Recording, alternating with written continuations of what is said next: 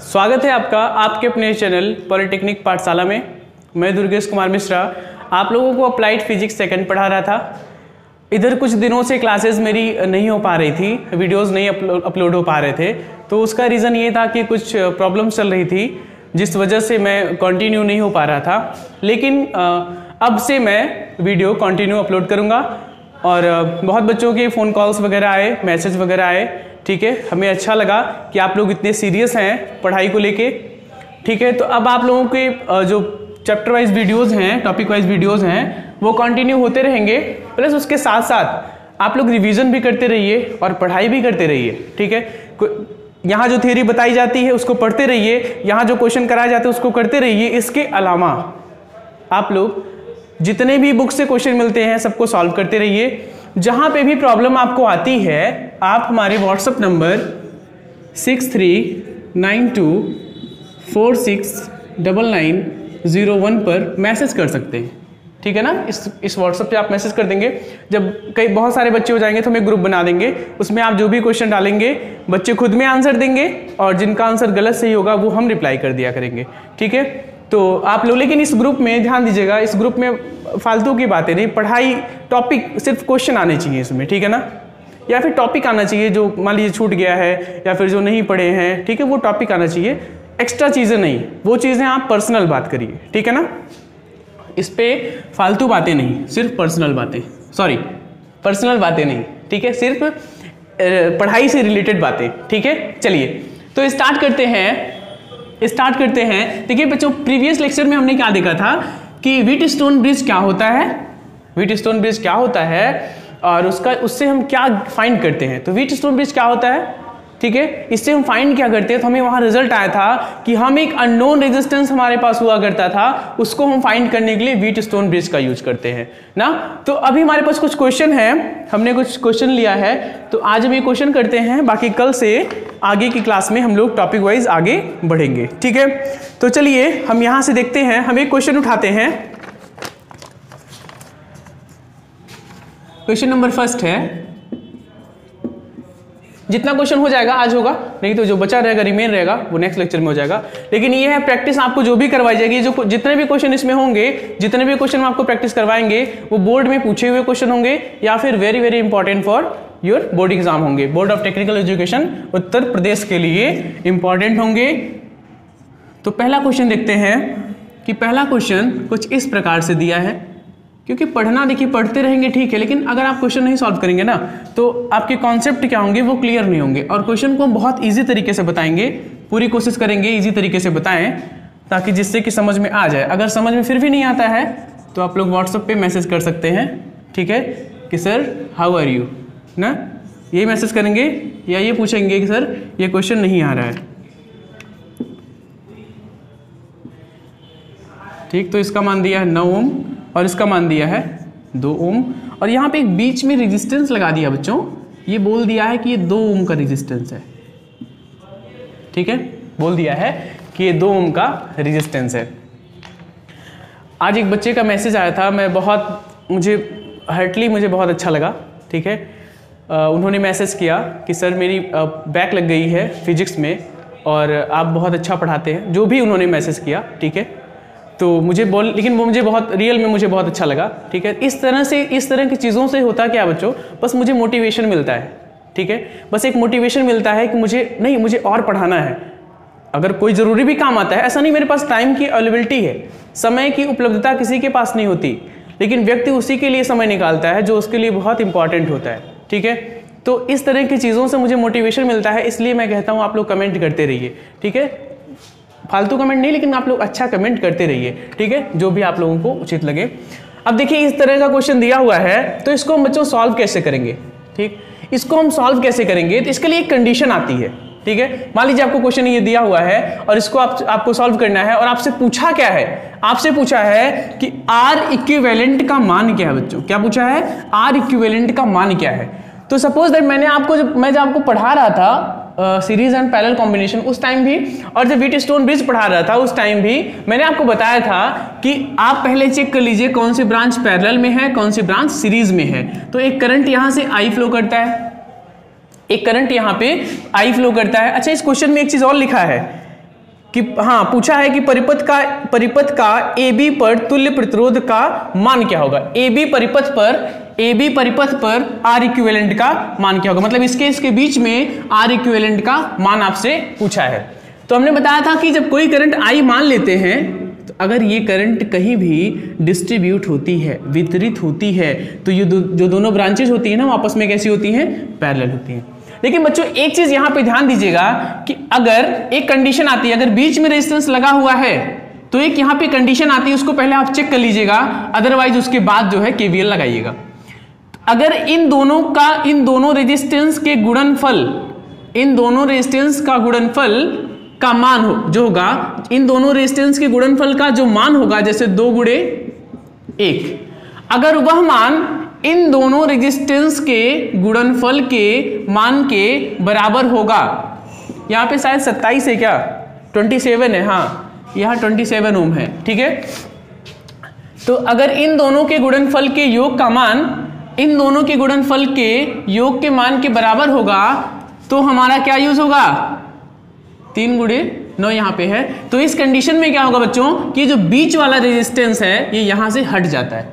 क्या हो जाता है? ये यहाँ से रिमूव हो जाता है। तो जब ये बीच वाला रेजिस्टेंस यहाँ पे हट जाएगा, देखिए ये ये कितना हुआ? सत्ताईस बराबर कितना हुआ? सत्ताईस हुआ ना? कहने का मतलब क्या है कि इन दोनों रेजिस्टेंस के गुणन, इन दोनों का रेजिस्टेंस का गुणनफल जो आया है, सत्ताईस, वो इन दोनों रेजिस्टेंस के गुणनफल के मान के बराबर होगा। सत्ताईस बराबर सत्ताईस तो उस कंडीशन में क्या होगा? हमारा जो ब्रिज होगा, वो बैलेंस होगा। और बैलेंस की कंडीशन में क्या होता है? गैलोमीटर में कोई करंट नहीं फ्लो होता है। और जब उसमें कोई करंट नहीं फ्लो होगा, ठीक है? आई जी क्या होता है? ज़ीरो होता है, ठीक है? अब देखिए बच्चों अब आई करंट आ रही थी और ये आई करंट दो पार्ट में आई वन और आई टू में डिस्ट्रीब्यूट हो गई।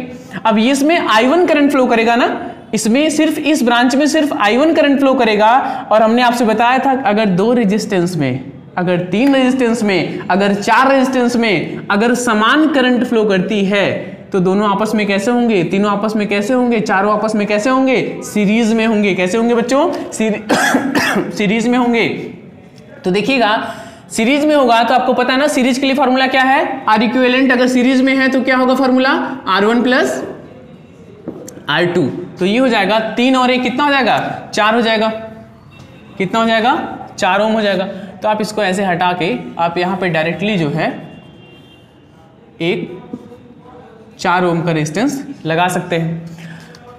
यहाँ पे ये दोनों आपस में कैसे हैं बच्चों? ये दोनों आपस में कैसे, क्योंकि I2 करंट इन दोनों में से होकर फ्लो करेगी ना तो ये दोनों आपस में कैसे हो जाएँगे? ये दोनों भी आपस में सीरीज़ में हो जाएँगे। तो ये कितना हो जाएगा? 27 और 9 कितना हो जाएगा? 9 सात, सोलह, छत्तीस हो जाएगा ना? तो कितना हो जाएगा? 36 हो जाएगा। तो 36 ओम का रेजिस्टेंस यहाँ पे हम लगा देंगे। 36 ओम का ओम लगा देंगे। ठीक है रेजिस्टेंस को हम लगा देंगे। देखिएगा यहाँ पे अब I1 करंट फ्लो कर रही है, अब भी ये करंट दो भाग में डिस्ट्रीब्यूट हो रही है, जो यहाँ I1 में डिस्ट्रीब्यूट हो रही है और I2 में। अब ये जो I1 करंट है, ये सिर्फ़ एक रेजिस्टेंस में जा रहा है I2 करंट सिर्फ़ एक रेजिस्टेंस में जा रहा है, ठीक है ना? अब ये दोनों रेजिस्टेंस आपस में कैसे हुए? पैरेलल में हुए। और पैरेलल के लिए बच्चों, मैंने आपको एक शॉर्टकट फॉर्मूला बताया था। R equivalent is equal to क्या होता है? R one into R two upon R one plus R two ठीक है ना? अब R1 का मान कितना है? चार गुड़े छत्तीस बटे चार प्लस छत्तीस। ये कितना हो जाएगा? छ, चार छंग, चौबीस की चार, हासिल दो, चार ते बारह दो, चौदह। ठीक है? एक सौ चौवालीस और छत्तीस चार कितना होगा बच्चों? चालीस होगा। ठीक है ना? छत्तीस चार कितना हुआ? चालीस हुआ। अब इनको आप सॉल्व कर लेंगे तो जो आपकी वैल्यू आएगी वही आपका क्या होगा? आंसर होगा। ठीक है ना? चलिए तो ये तो आपको दे दिया। ये तो आपको दे दिया पहला। ठीक है? ये तो आपको दे दिया पहला क्वेश्चन पहले क्वेश्चन को हम इस तरह सॉल्व करेंगे। इसमें कोई कंफ्यूजन वगैरह हो तो आप पूछ लीजिएगा, ठीक है ना? कोई कंफ्यूजन हो या नहीं समझ में आया, या फिर अगर आपको क्वेश्चन नहीं समझ में आ रहा है तो आप फिर बोलिए कि, सर क्वेश्चन नंबर इतना, फिर से बता दीजिए। तो हम उसको फिर से बता देंगे यहाँ पे। ठीक है ना? आप लोग कमेंट करके ज़रूर बताया करिए। कि आपको समझ में आया या नहीं। तो इसको आप सॉल्व कर लीजिएगा। ऐसा नहीं इतने पे छोड़ दीजिएगा। सर ने छोड़ दिया तो हम भी छोड़ देंगे। ठीक है? इसको और आगे सॉल्व कर लीजिएगा। कितना होगा? ये देखिए 40 है ना? तो यहाँ पे 144 है तो 40 दिए यहाँ। 120 हो जाएगा ना? तो थ्री पॉइंट समथिंग आएगा। थ्री पॉइंट समथिंग आएगा, आप उसको सॉल्व कर लीजिएगा। जो भी आएगा। ठीक है बच्चों? तो दूसरे क्वेश्चन पे हम चलते हैं। हमारा पहला क्वेश्चन था। अच्छा क्वेश्चन था। जब हम क्वेश्चन सॉल्व करते हैं, तभी हमें पता चलता है कि हमने जो पढ़ा है, जो हमने पढ़ा है थ्योरी जो हमने थ्योरी पढ़ी है, जो हमने कॉन्सेप्ट पढ़े हैं, वो हमारा कितना क्लियर हुआ है, तभी तो क्वेश्चन आप सॉल्व कर पाते हैं। तो आइए देखते हैं क्वेश्चन नंबर दो। क्वेश्चन नंबर दो। ये बहुत ही बढ़िया क्वेश्चन दिया है, देखिएगा।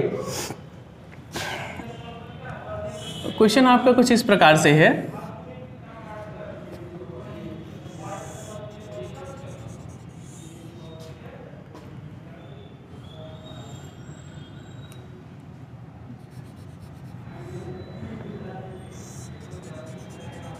हमने कुछ सिलेक्टिव क्वेश्चन उठाए हैं, ठीक है? फालतू क्वेश्चन नहीं उठाए हैं और कुछ सिलेक्टिव क्वेश्चन उठाए हैं जिनको सॉल्व करने पे आपके टोटल जो कॉन्सेप्ट है, वो क्लियर हो जाएँगे। अब देखिएगा, यहाँ पे यहाँ पे ए बी मान लीजिए या एक्स वाई मान लीजिए एक्स वाई मान लीजिए, और इन सभी रेजिस्टेंस की जो वैल्यू है, वो पाँच ओम मान लीजिए। पाँच ओम पाँच ओम, ये भी पाँच ओम, ये भी पाँच ओम, ये भी पाँच ओम। ठीक है? बात समझ में आ रही है ना? तो ये हमारा क्वेश्चन दिया हुआ है और कहा क्या है कि आपको इक्विवेलेंट रेजिस्टेंस फाइंड करना है इक्विवेलेंट रेजिस्टेंस फाइंड करना है, ठीक है? किसके बीच में? एक्स और वाई के बीच में।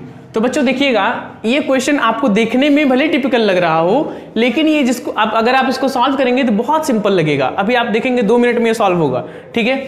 करना क्या है इसमें? करना कुछ भी नहीं है। देखिएगा, ये जो ब्रांच एक्स है ये जो ब्रांच एक्स है, यहाँ एक्स से इसको पकड़िएगा, ठीक है ना? इसको पकड़ तो नहीं पाएँगे आप फ़िलहाल, ठीक है? लेकिन इसको आप अज्यूम करिए जस्ट इमेजिन करिए। इसको आप यहाँ से उठाइए और इसको खींच दीजिए इधर।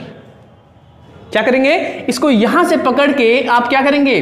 खींच देंगे इधर और इसको यहाँ से पकड़ के खींच देंगे इधर।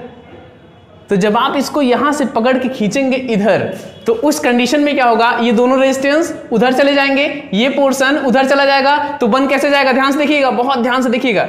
जब इसको आप उधर खींच देंगे तो ये इधर चला जाएगा ना और ये ऐसे कुछ इस प्रकार से बनेगा। देखिएगा ध्यान से ये पाँच ओम पाँच ओम कुछ इस प्रकार से बनेगा। ये इस, इसको जब आप उधर भेज देंगे ठीक है? और बीच में क्या बना? बीच में जब इसको आप उधर भेजेंगे तो बीच में बीच बीच में तो ये रहेगा ना पाँच ओम का ठीक है? तो बीच में क्या रहा? पाँच ओम का, ठीक है? अभी देखिए क्या किया आपने, इसको तो भेज दिया आपने, बीच में पाँच ओम का भी आपने लगा दिया। अब बचा आपका ये, बचा आपका ये, इसको आपने क्या किया? पकड़ के खींच लिया। जब पकड़ के खींच लिया तो ये दोनों रेजिस्टेंस यहाँ पे, ये दोनों रेजिस्टेंस यहाँ पे, और ये आपका टर्मिनल यहाँ पे।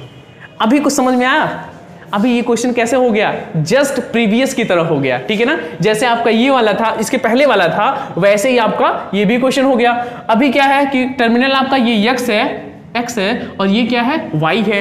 अभी सभी रेजिस्टेंस का मान क्या दिया बच्चों? ये पाँच ओम दिया है। ये भी पाँच ओम दिया है, ये भी पाँच ओम दिया है, ये भी पाँच ओम दिया है, और ये भी पाँच ओम दिया है, ठीक है? अब अगर इस तरह से पाँच ओम दिया है तो हमने, मैंने अभी जस्ट थोड़ी देर पहले जो कंडीशन बताई, सबसे पहले तो आप चेक कर लीजिए जब जब भी बीच में रेजिस्टेंस आए, जब भी बीच में रेजिस्टेंस आए तो सबसे पहले आप चेक कर लीजिए कि इन दोनों का मल्टीप्लीकेशन करके जो आता है, क्या वो इन दोनों के मल्टीप्लीकेशन करने के बाद जो आता है, उसके इक्वल हो रहा है कि नहीं? अगर वो इक्वल हो रहा है तो इसको तुरंत हटा दीजिए। ठीक है ना? अगर वो इक्वल हो रहा है तो बीच का रेजिस्टेंस तुरंत रिमूव हो जाएगा। तो यहाँ भी तो इक्वल हो रहा है, जैसे पिछले वाले क्वेश्चन में था। ठीक है तो पाँच गुड़े पाँच। पाँच गुड़े पाँच इज़ इक्वल टू पाँच गुड़े पाँच। तो पाँच पच्चीस पच्चीस बराबर पच्चीस। तो पच्चीस किसके बराबर है? पच्चीस के तो बीच का रेजिस्टेंस क्या हो जाएगा? हट जाएगा। अब तो सर हम कर लेंगे। ठीक है, अब तो इसमें कुछ रह ही नहीं गया। ठीक है, अब तो बहुत सी, बहुत सिंपल हो गया। अब यहाँ से करंट एक आई अज्यूम करेंगे, देखिएगा। बस चेक करने के लिए किसमें है कनेक्शन ठीक है? तो ये आई वन है और ये क्या बच्चों? I2 है। अब ये I1 जो करंट है, वो इस ब्रांच से होते हुए यहाँ तक जाएगा। तो कहने का मतलब क्या है कि वही I1 जो है, वो इस पाँच ओम में भी फ्लो करेगा और वही I1 इस पाँच ओम में भी फ्लो करेगा। ठीक है? अब यहाँ से जो I2 है, वो I2 इस पाँच ओम में फ्लो करेगा और वो I2 इस पाँच ओम में और मैंने बताया है कि अगर समान धारा जितने रेजिस्टेंस में से होकर फ्लो करेगी, वो सारे आपस में क्या होंगे? सीरीज़ में होंगे। क्यों? क्योंकि सीरीज़ में करंट का मान सेम होता है। ठीक है ना?